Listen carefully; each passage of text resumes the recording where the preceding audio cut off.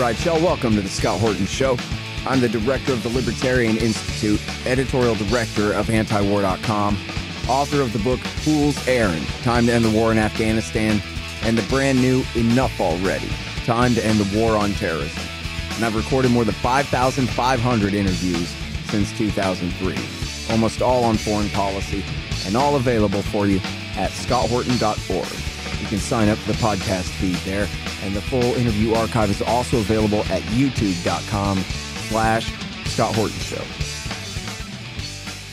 All right, you guys, on the line, we've got Brad Pearce. He writes The Wayward Rabbler over there on Substack, and we also run him at the Libertarian Institute as well. Welcome back to the show, Brad. How you doing? Oh, I'm doing well. Thank you for having me back. Yeah, man, very happy to have you here. A very interesting piece. The CIA admits its longtime presence in Ukraine, and this is the big one in the New York Times from a few weeks ago now, February the 25th. The spy war, how the CIA secretly helps Ukraine fight Putin. So tell me, what'd you learn from the big NYT piece here? Well, you know, it's another classic example of going from, you know, saying something is a baseless conspiracy theory to saying, of course, we're doing that, and here's why it's a good thing. um, in short, they, you know, admitted directly that as soon as the Maidan Revolution happened, that Ukraine's new spy chief called in the CIA and MI6, and they set up what could only be fairly described as an anti-Russian conspiracy to, you know, use Ukraine as what is described as a beachhead against Russia in the region and to you know basically counter Russian influences throughout. So there's really no other way to look at it but that Ukraine intentionally threw in with Russia's enemy and worked very hard to make itself a threat to Russia. And of course, the purpose of this article was to guilt people into funding Ukraine more on the grounds of, you know, we cannot abandon them like our erstwhile allies in Afghanistan. But strangely, it got very little notice at all, which, I mean, I guess the New York Times is really increasingly irrelevant, um, more so even than one would imagine. Yeah. Well, and it's their fault for employing Charlie Savage, the disgusting liar, along with David Sanger and uh, formerly Michael Gordon and all of Scott Shane and all the hoaxers of the Russiagate scam and the rest of that. No wonder nobody pays any attention to them. Yeah, well, and it's really funny because you know whenever there's like a leak that tells us something we really do need to know, they go on and on about oh you're endangering people. You know, there's these sources and methods you're revealing. You know, Assange is still in in prison and like they're public enemy number one for this. And of course, there was none of that hemming and hawing about this because the CIA very clearly directly invited journalists in to tell them this whole big story that, you know, was supposedly like a secret. It's really an incredible thing. And I, they must have thought that this was going to make everyone want to fund Ukraine more, and they did not realize that by publishing this, they were really, you know, agreeing with most of Russia's grievances about Ukraine that they used as a justification for launching their war. Yeah, and and for that matter, the Americans who are opposed to this intervention there. So, um, as you say, they talk about this going all the way back to uh, 2014 I don't guess they specifically mentioned Brennan's trip to Kiev just after the revolution there, but he clearly at the time, I think USA Today revealed it first, and he clearly had agreed with or even possibly ordered them to start what uh, the interim president at that time, and then later Petro Poroshenko called a war on terrorism against the people of the east of their own country. Yeah, and you know what's really been kind of strange about all of this? Because I've written some other things uh, about the general premise of how it is that this awful, you know, narrow faction of like uh, pro-Western nationalist pseudo-intellectuals took over this entire large country, and you know something that's very strange is that they could not possibly make the kind of horrible uh, neoliberal tech dystopia that they want to turn Ukraine into if they have to incorporate these people into their country that live in the regions that Russia currently controls. So it's hard to come to a different conclusion than, that they desire to oppress this part of their population more than they love life itself. Yeah. Well, and here they are losing the entire south and east of the country. The only question at this point in the war is whether the Russians are going to go ahead and take Odessa and the entire southern coast or whether they'll be happy with the four provinces they've already taken. Now, I don't guess Yeah. you figure that that that was the plan that well, we want rid of these Russians, so we'll just start a war, let Russia take the south and the east, but make it very expensive for them to do so. They must have thought that they were going to get away with it. You know, I've wondered this whole time whether Ukraine was intentionally used as a sacrificial pawn or whether they actually thought this was going to work. And as ever with government, the evil incompetent matrix is kind of the hardest thing to read about any government action. Yeah, exactly. Stupidity or the plan. Well, it's a stupid plan. That's all. Yeah, no, it, it is almost always some combination of both. It's just a matter of which one is predominant in that specific situation. yeah. And now you say here that when they created this specialized anti Russia division, and then again, this goes back, we're not talking about 22, we're talking about 14, just after the bogus so called revolution of dignity, which is absolutely hilarious. Um, but uh, you say that, or the Time story here says that they recruited exclusively young people born after the fall of the Soviet Union. Did they say why exactly? Oh yeah, they were like, oh, they because they didn't want anyone, you know, with dual loyalty, to, well, to Russia, but they wanted people only with dual loyalty to, you know, the U.S. and the U.K. But yeah, they said, I mean, obviously, kind of facetiously, you know, these people don't even know what the USSR was. So they just really wanted people that, uh, you know, had absolutely no connection to it. And it's kind of strange, 'cause, you know, it takes a long time to detach. So you have to figure all of those people still went to school educated by people that were, you know, by teachers that were educated under the Soviet Union. You know, all of their parents grew up under it, et cetera. Uh, but yeah, it's the main thing that struck me about that is how young that meant they were. Because that was only like 23 years after the fall of the Soviet Union. So you're running this whole complex operation against, you know, the world's largest country that has the largest nuclear arsenal with a bunch of people that would barely be out of college if the, you know, the oldest ones would barely be out of college if they went at all. And which is funny too, because it seems to me, I don't know, like the harder feelings would be among the people who actually did grow up under the Soviet Union, which was, after all, a totalitarian police state. And I know from members of my family, my wife is from Ukraine, that it's the Soviet Union that they absolutely hated and feared. And Russia, maybe not their favorite, but doesn't compare to the totalitarian monster that was the USSR and its domination of Ukraine up Yeah, until well, there's several interesting things about that. I mean, one of which is that the older people that were running this obviously had, yeah, lived under the Soviet Union. Um, it's not clear that a bunch of people whose early childhood memories were the uh, post-Soviet hell era of the 90s that you know Ukraine kind of never left would be the best people for this anyway. Uh, so yeah, and no part of that really made that much sense to me. But you know what else is strange about this is that it was all the people that were total in like in our society at least it's all the people who were total apologists for the Soviet Union when it did exist that now claim to hate current Russia because it's communist when you know current Russia is not communist. It's all very irrational. Yeah, seriously. Well, and it's funny that Joy Reid famously called Russia a communist country on MSNBC, revealing that she really didn't have the first clue about the history of the world that she lives in whatsoever. Uh, she probably thinks you got to go west to get there. Yeah, I mean, none of them have, have any clue about it. And, you know, the other thing that's very frustrating is that obviously Ukraine was a full constituent member of the Soviet Union. Uh, you know, people from of Ukrainian descent were in charge of the Soviet Union for more years than people that were fully Russian, you know, though the peoples are very closely linked.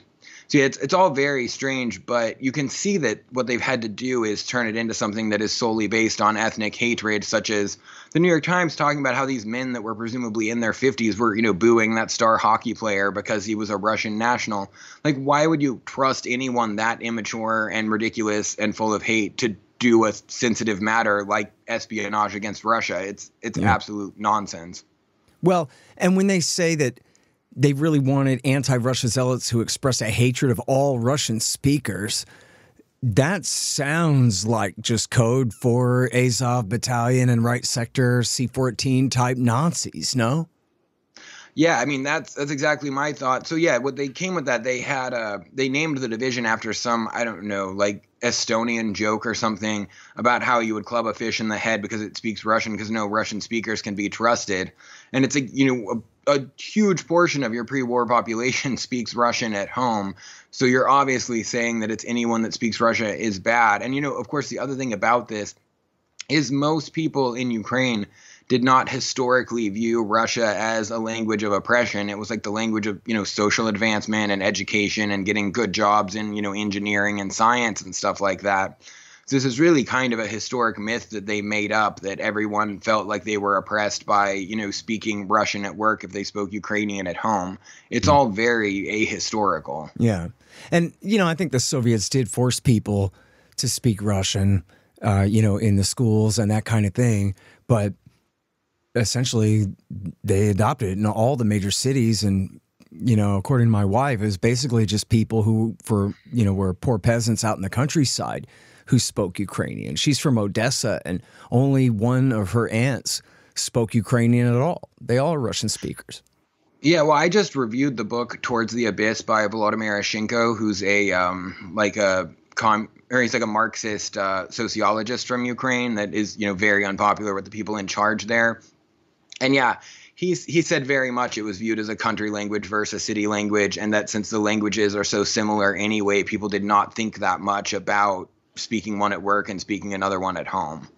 Mm-hmm. And I'm sure that if you go, you know, all the way west to Lviv, it's different. But certainly on the entire southern coast and in the Donbass and up to Kharkiv, and I think even in Kiev, the idea was it was you know the town and country split there.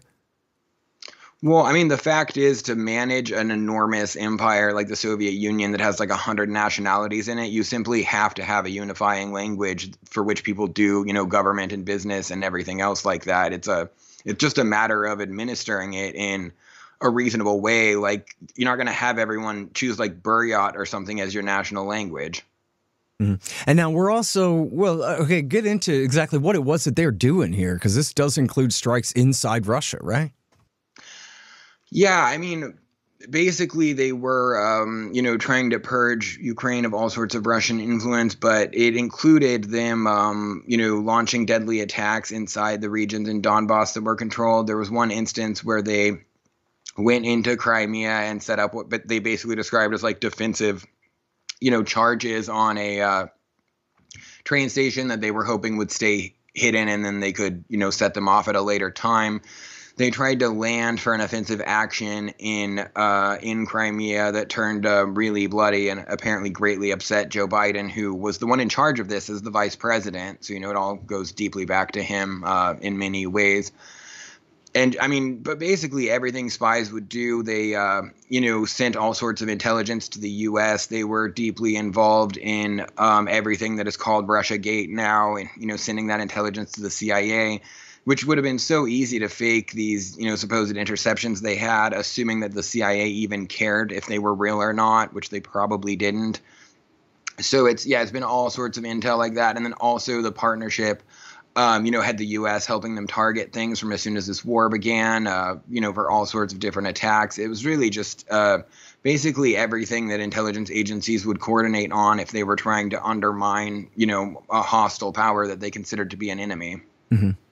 And now, so what about the Russians? In in do you know if TASS and RT and the rest did big "I told you so's" about this and said, "Of course, see, you gave us no choice, just like we said." You know, I didn't see them mention it that much either. I've really been looking for any response to this, but uh, you know, so much of what they said, yeah, was right exactly in line with you know what Russia said, and obviously, like it's a completely different question if any of this justified this enormous war that's caused a massive amount of human suffering. But what it does show that is the thing that is the most important about this is that they've wanted us to believe that, you know, if Russia's not stopped in Ukraine, that, you know, they're going to roll their tanks to Brussels, like they're a threat to, you know, the Baltics and Finland, and they, they want to take Poland and all of this other stuff like that. And it shows very directly that Ukraine's government uh, was threatening them, was intentionally threatening them, was seeking to undermine their state, was, you know, doing all sorts of things. And, and further, was uh, just oppressing ethnic Russians within Ukraine because they hated them. So it it really shows that Russia never was a threat to any of the other neighboring nations if they would just behave in a reasonable fashion and you know try to have good relations. You know, people have a really negative view of what they call Finlandization during the Cold War, but you would find that Finland went through the entire Cold War in peace, independent, you know, a free country and everything else. So it's kind of weird to act like that turned out badly for them. Yeah, exactly. Uh, same thing with Austria. And you look at the map, Austria's a couple clicks to the west of Ukraine. Uh, seems like we might have been able to settle for neutrality for Ukraine, but no. Yeah, you know what I keep coming back to is in the really famous Melian dialogue in Thucydides.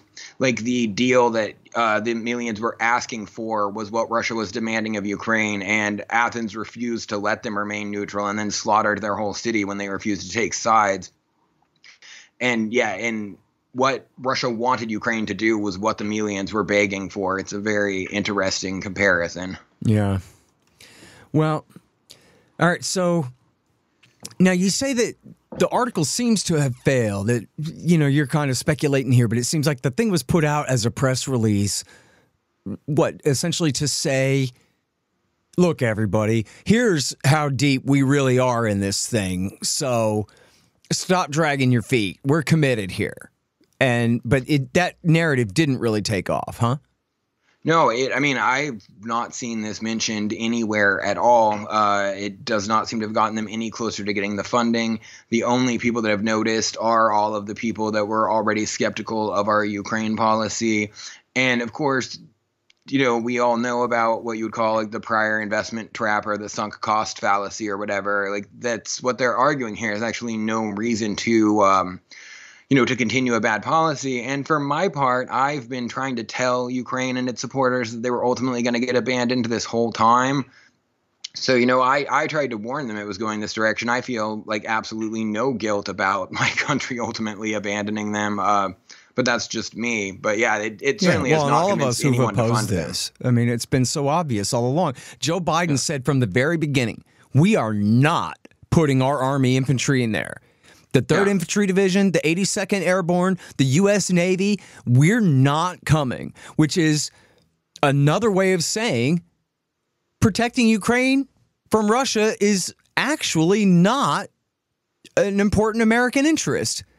And it also goes to show then, it makes the whole question of bringing them into NATO, uh, you know, uh, obvious controversy here, where we're clearly not willing to risk direct war with Russia, or not that much of a risk of direct war with Russia over Ukraine. So if Biden had somehow succeeded in pushing NATO membership through before the war and Russia attacked, then we would have sent the 82nd Airborne and gone to nuclear war then? Or we'd have said, actually, Article 5 is written pretty vaguely and you guys are screwed, the same as we're doing right now. Yeah, well, you know, it's kind of funny. Uh, um, two years ago, Kaja Kallas, the prime minister of Estonia, admitted that NATO's defense strategy for the Baltics in a major war with Russia is that they will just be occupied with Russia, and then you know the U.S. or you know NATO will liberate them at a later time, which is crazy. But uh, it, they're completely indefensible. And yeah, similarly, I, I just don't know who's going to go there for Ukraine. But you know, they're kind of getting their own uh, piecemeal ramshackle NATO because several major countries uh, such as you know France, the um, United Kingdom, and Italy have given them, and Canada for that matter, have given them like basically separate security guarantees or made separate mutual defense pacts and of course, it's not actually a mutual defense pact between Italy and Ukraine because no one's going to attack Italy, and there's no chance Ukraine would be able to help them if someone did. So it is just a one-way security guarantee. And it's funny because this is exactly what's what's not funny, but it's exactly what started World War II was that you know Poland took this security guarantee from the United Kingdom, who was unable to physically access their country to defend them and then you know Poland acted uh, really arrogantly and unwise because they felt they had the security guarantee from you know the world's great empire of the day, and then Poland got you know partitioned and completely destroyed and suffered untold horrors, and everyone learned the wrong lesson from this. And I, I don't know how that's possible, but you know the only thing about history people know about is World War II, and they know all of the wrong things about it. Yeah, the lesson is America and Britain and France and the Soviet Union should have all ganged up and invaded Germany as soon as Hitler took Czechoslovakia. Yeah, that's the only that's that's their only idea in regards to this, and uh, you know quite clearly, I think Poland could have just been more wise in a variety of ways. You really should not take security guarantees from anyone who would be unable and unwilling to defend you, but no one has learned this lesson. Yep. Hey guys, I've had a lot of great webmasters over the years, but the team at expanddesigns.com have by far been the most competent and reliable. Harley Abbott and his team have made great sites for the show and the Institute, and they keep them running well, suggesting and making improvements all along. Make a deal with expanddesigns.com for your new business or news site. They will take care of you. Use the promo code SCOTT and save $500. That's expanddesigns.com. Man, I wish I was in school so I could drop out and sign up for Tom Woods' Liberty Classroom instead. Tom has done such a great job on putting together a classical curriculum for everyone from junior high schoolers on up through the postgraduate level. And it's all very reasonably priced. Just make sure you click through from the link in the right margin at scotthorton.org. Tom Woods' Liberty Classroom. Real history, real economics, real education. Hold on just one sec. We got to make some money here. Man, Starbucks support for Israel's ethnic cleansing campaign is almost disgusting as their coffee. Don't you just hate them? You, me, and a lot of other people, too. It's time to boycott and divest from those genocidal blood drinking traitors at Starbucks. But you're still to need your caffeine in the morning. Well, you guys are to love Moondo's coffee. It's so good, and the price is right. Check out a massive variety of awesome tasting coffees at moondosartisancoffee.com. You'll be glad you did. That's moondosartisancoffee.com. And then, you know, in bringing the Baltics into um, NATO in the second round there, they really did create, as you're saying, that they admit themselves here that that Estonian minister saying, well, you know, yeah, we would just be occupied and then hope for the best later. Now look at a map of where those Baltic states are. How in the world is the United States of America supposed to liberate them? We're going to move our entire army to, uh, you know, France and Germany and then move them through Poland to attack the Russians in the Baltics, or we're going to get into a naval war in the Baltic Sea and take that over and land our Marines. We're talking thermonuclear war in that event. Everybody knows that. And they've, you know, as Pat Buchanan warned back in 1999, you bring the Baltics in, now you're leaving Kaliningrad, this extremely mm. important city and naval port that still belongs to the Russians behind NATO lines. They're separated from them by uh, Belarus, their ally, but also by Lithuania. Yeah, I mean it's a it's a crazy thing to do, and it's also strange because yeah, that, that's why they've had to build this false narrative that Russia is inherently a threat to everyone. The reality is that these Baltic states, besides you know being like Chihuahuas that are so aggressive despite being so tiny, uh, is that it's actually good for a huge country like Russia to have tiny, basically harmless countries next to them that have mostly free trade and whatnot. There's any number of reasons that it's a good, you know, to have them just as little harmless buffers that everyone agrees are neutral. And, you know, they weren't actually threatened by Russia in any way. But, uh, they're i mean they're deranged with hatred uh, there was recently someone in the american conservative uh, i don't remember what the article was called but that said it's like a rule that the smaller and weaker and closer to russia these countries are the more relentlessly uh, recklessly aggressive they are towards russia mm-hmm. and it yeah it's absolutely like that yeah sounds like something doug bandow would say eh, it wasn't him. It was oh, okay. someone whose name I didn't recognize. All right. But yeah, it was a really, really good quote. Yeah, he always quotes. There's this movie, The Mouse That Roared, about oh, this, oh yeah yeah this little make believe country in Europe that starts a big fight, and you know he says we collect our allies like baseball cards without ever asking whether this does us any good at all to bring these countries who couldn't possibly assist us in any way. You know, they say about Ukraine and Georgia, well, they helped us in Afghanistan and Iraq. Yeah, well, thanks for nothing.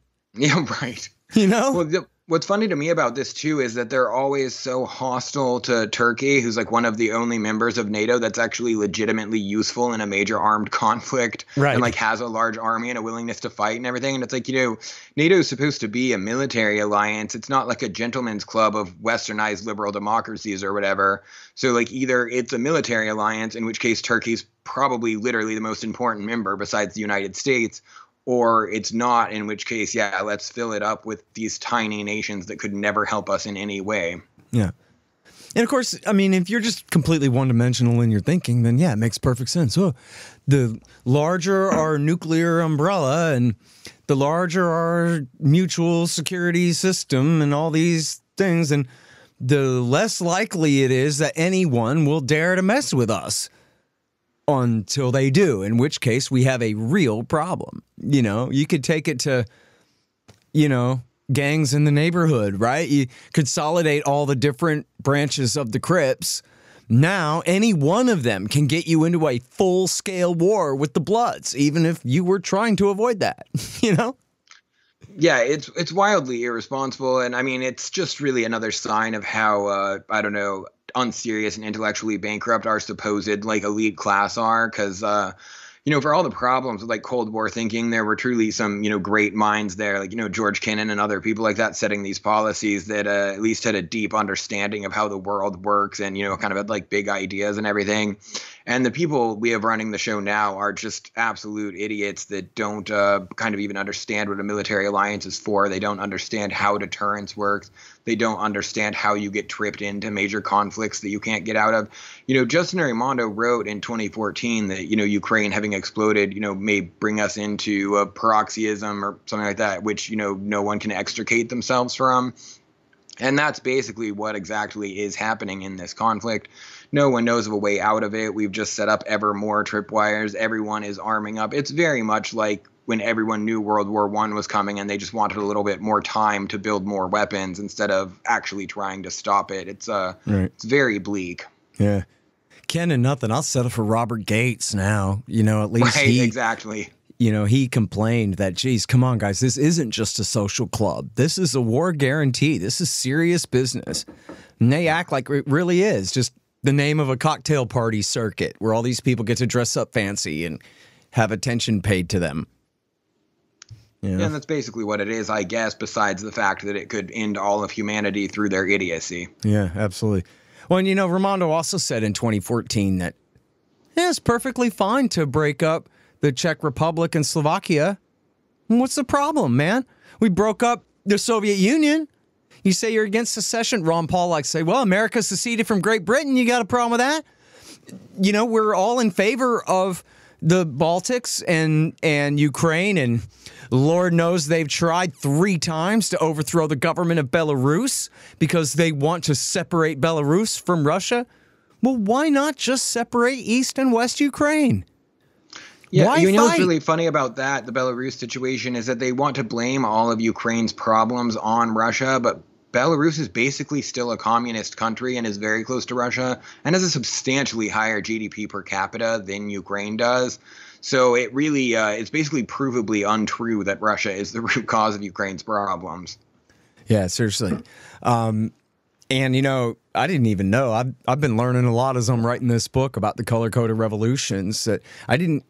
I don't think I even knew about the failed regime change, the white stork conspiracy they called it, the attempt to overthrow the government of Belarus in 2001.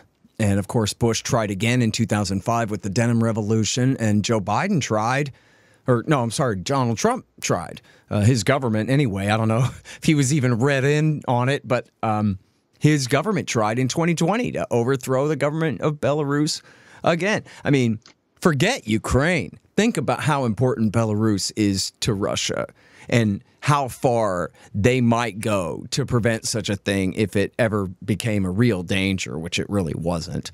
Um, but Lord knows Well, they've tried three times. Imagine the Russians, not in a ridiculous MSNBC conspiracy theory, you know, cooked up by the FBI counterintelligence division. But what if Russia had actually tried to overthrow the government of Canada three times? We'd have gone to nuclear war over that.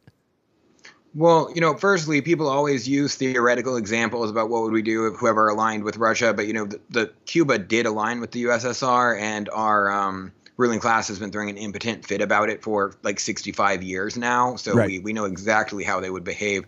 Um, but yeah, regarding Belarus is a funny thing because in 2020. Um, you know, Lukashenko was actually kind of trying to have some rapprochement with the West uh, and make maybe distance himself from Russia a little bit and then they tried to do a color revolution on him and then of course they just drove him to be closer to russia than ever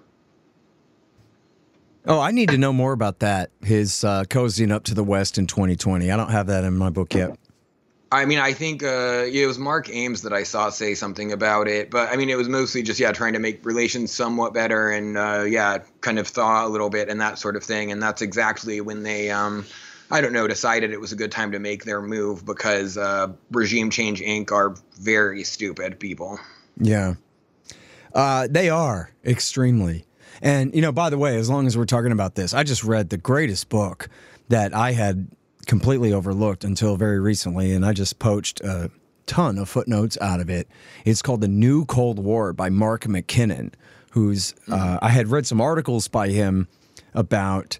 Um, I think probably the Orange. No, no, no. I think the Rose Revolution in 03 in Georgia uh, that he had written for the Toronto Globe and Mail. But he has this excellent book about all the color coded revolutions up through 2007.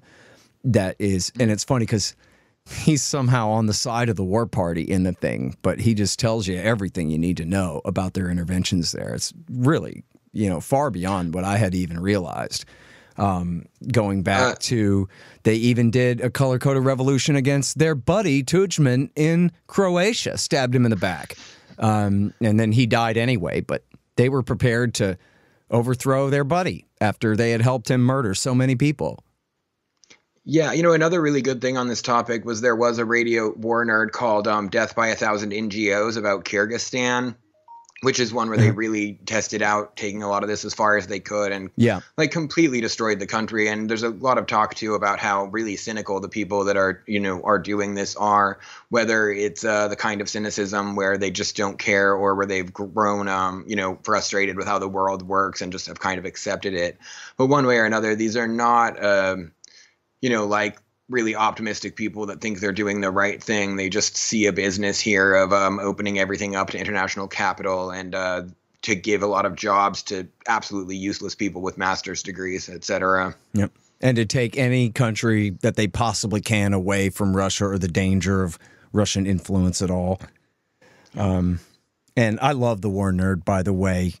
Um, Mark Ames is absolute scum, but uh, his buddy Gary Brecher is awesome. Yeah, I don't know. It's it's just a podcast I listen to sometimes. Regardless, that episode was really an interesting, in-depth story about how far they took uh, how far they took the whole NGO color revolution thing in, in Kyrgyzstan because the mm-hmm. um, person running the country really did not uh, have the personality to oppose them properly, I guess, and uh, it just has sent the country to like 20 years of hell. Yep. Yeah, and you know, Raimondo covered that and back then I was his editor and the guy filling his articles with all those links and all of that. So we had all covered that in real time at antiwar.com, uh, along with the Orange Revolution and then the failed Cedar Revolution in 05 and later the failed Green Revolution in Iran in 09 and the rest. So, um, but I had I had completely missed Albania, Slovakia, Croatia in the 90s before Serbia which was, I guess, Serbia really kicked off in 2000, really kicked off the color coded revolution era. But there had even been three or four before that. Yeah, well, and you know, even Slovakia now they were like absolutely losing their mind about the premise that uh, you know that Fico would take power again and that he wouldn't be hostile to Russia and you know that he wants the Ukraine war to end. And he clearly was to an extent radicalized by Maidan happening. I think he could see them doing the same thing to him, basically. Um, But it's really funny because his party got 23% of the vote, and he's Slovakia's longest serving prime minister. And they were trying to say that, oh, this is Russia interfering in their elections. This is a massive influence campaign. Like, Russia's the only one that caused this. It's like, do people really think Slovakia's longest serving prime minister getting 23% of the vote in an election is a sign that, you know, there's a vast conspiracy? He probably just has support from um, old people. You know, someone in Eastern from Eastern Europe told me that their view over there is if you get a new guy, he'll just start looting the country all over again, whereas the old corrupt guy's already done it and doesn't really need to steal anymore. And that's probably a big part of why Fico still has a good amount of support in Slovakia. Yeah. And like you said, Lukashenko in Belarus as well. Uh, Jonathan Steele, who uh, wrote a great book about the fall of the Soviet Union uh, called Eternal Russia and is a real expert on that. He had a piece about the Denim Revolution in 2005 in The Guardian that begins something like, Well, what would you expect the approval rating or reelection rate to be for a president who, and then he goes through all the statistics of, you know, extremely low poverty, high growth rate, low taxes, high pensions, and economic stability compared to all of their neighbors, well, you'd expect them to be re- reelected in a landslide, which is exactly what's going on. The only reason it's illegitimate is because the Americans don't like him because he's friends with Vladimir Putin, period. Yeah, I mean that's all there is to it, and it's and it's which is why no one showed up for the denim revolution either. You know, a few hundred protesters out there and then gone. Yeah, and it's increasingly clear that democracy just means, you know, their very narrow type of uh, government by incompetent technocrats. Yeah, and loyal to the United States. And if actual democracy decides the other way, well, then the will of the people and the rule of law will just have to burn in hell because George Soros and the NED know better.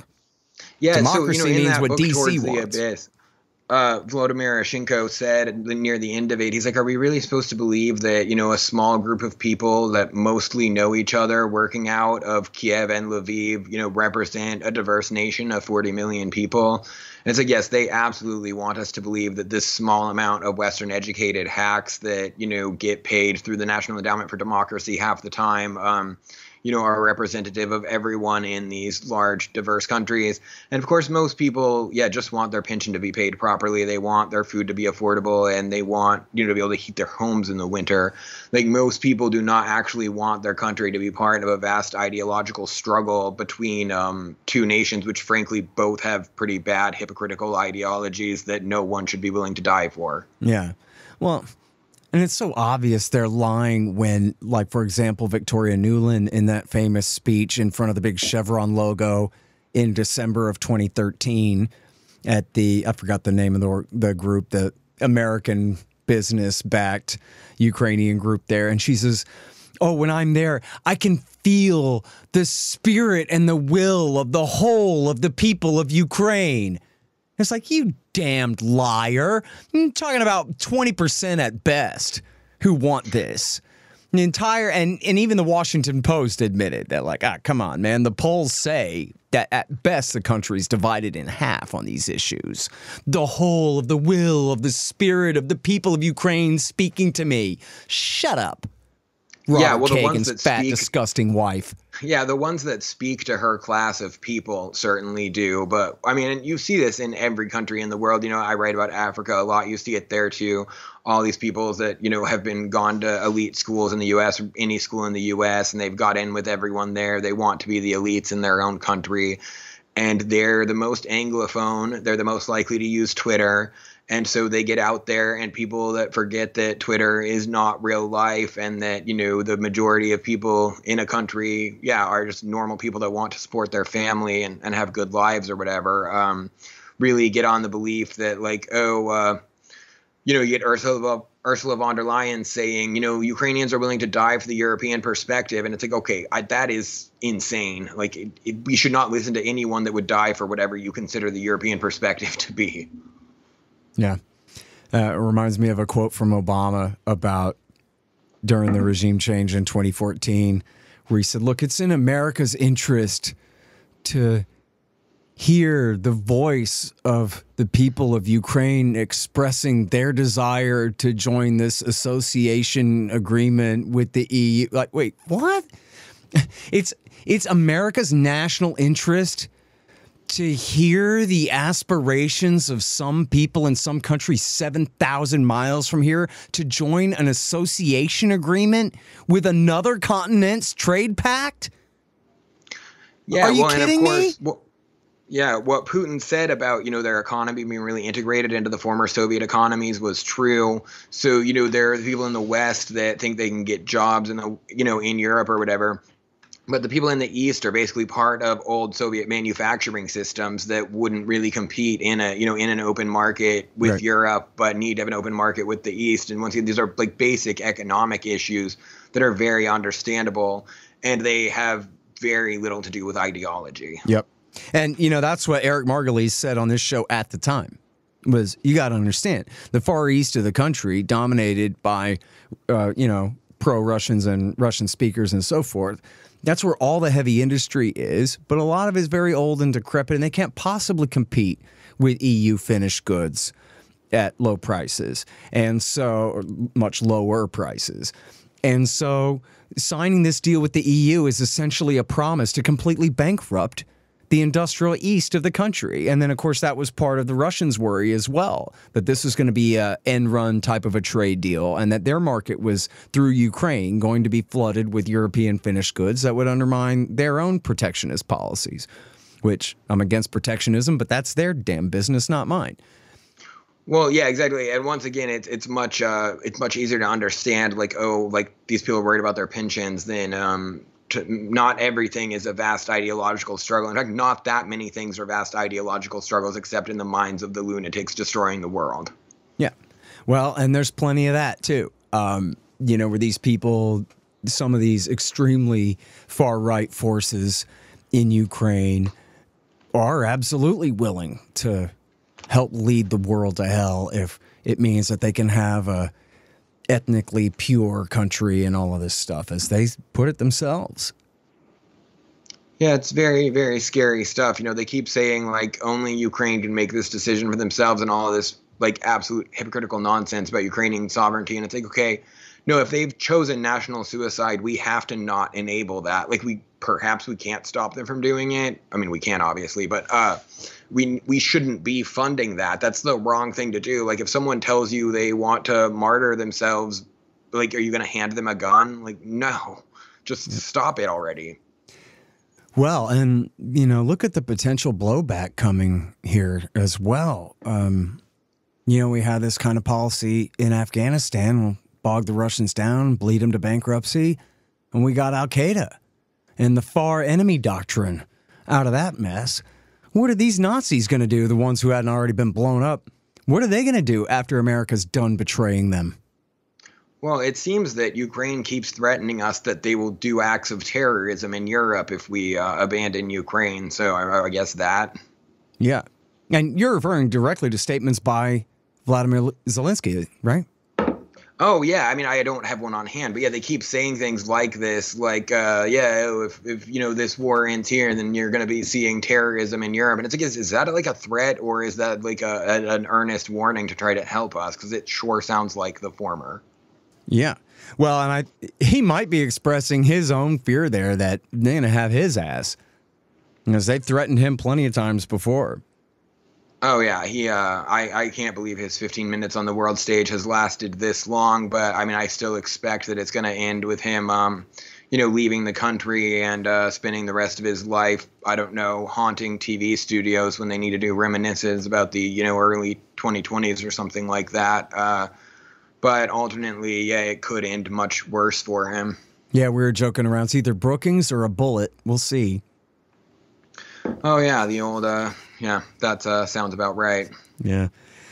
All right, man. Well, um, happy to have you here to review the bad news with us here. Um, I guess to finish up, it, there was sort of one spin on this thing too that you included as a possibility that you know rather than maybe arguing the sunk costs that we really better double down now, that instead they're possibly saying we've done everything we can and we've only been able to get this far and maybe now it's time for the Ukrainians to get used to the idea that they're about to get hung out to dry like the Tajiks in Afghanistan.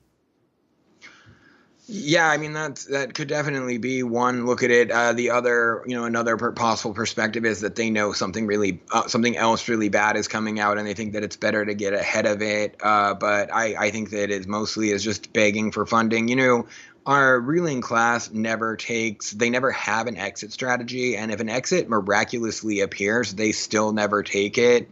Um, you know, there's countless examples. Um, not ending the war on terror after killing bin Laden is one of them. Uh, you know, COVID, not just declaring it over once vaccines were available, or you know, any number of things like that. Like they uh, they never have an exit strategy, and even if one shows up, they don't take it. So uh, I I kind of doubt that they're preparing, they're using it to prepare an exit.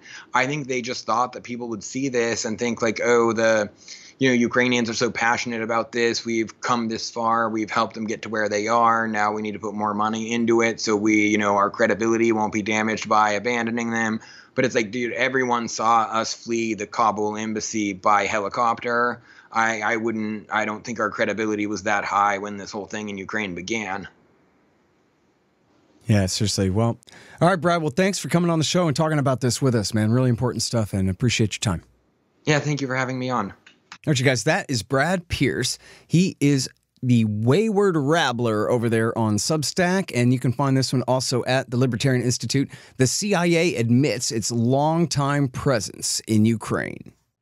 The Scott Horton Show, Anti War Radio, can be heard on KPFK 90.7 FM in LA, APSradio.com, antiwar.com, scotthorton.org, and libertarianinstitute.org.